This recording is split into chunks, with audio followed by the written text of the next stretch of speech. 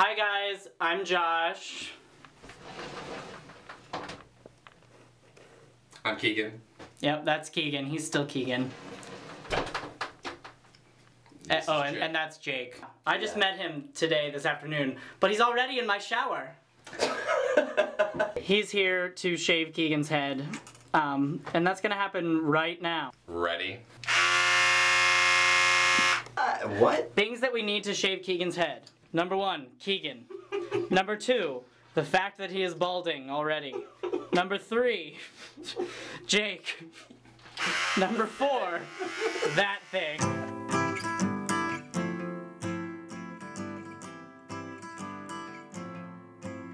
Well, if you want to sing out, sing out. And if you want to be free, be free. Cause there's a million things to be, know that there are. And if you want to live high, live high. And if you want to live low, live low. Cause there's a million ways to go, you know that there are. You can do what you want. The opportunity's on. And if you find a new way,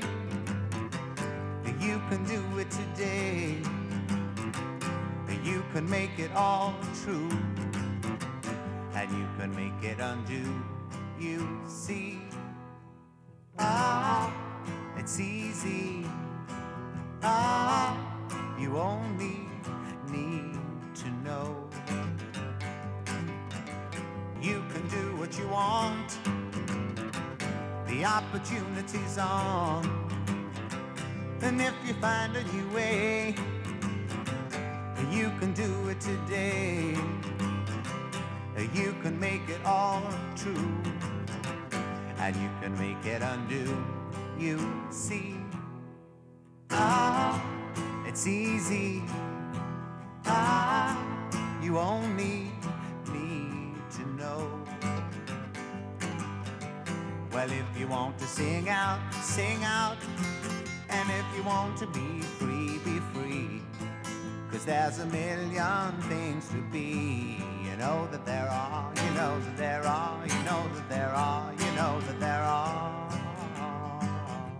You know that there are.